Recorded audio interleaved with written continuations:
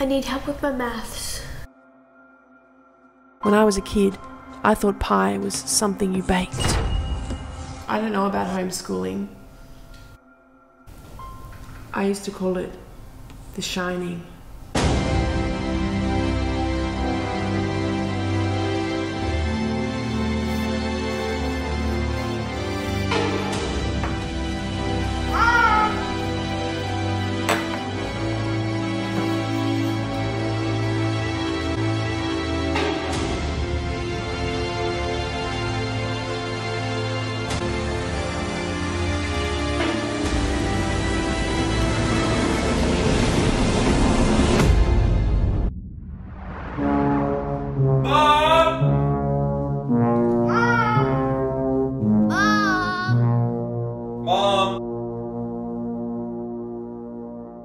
Mom!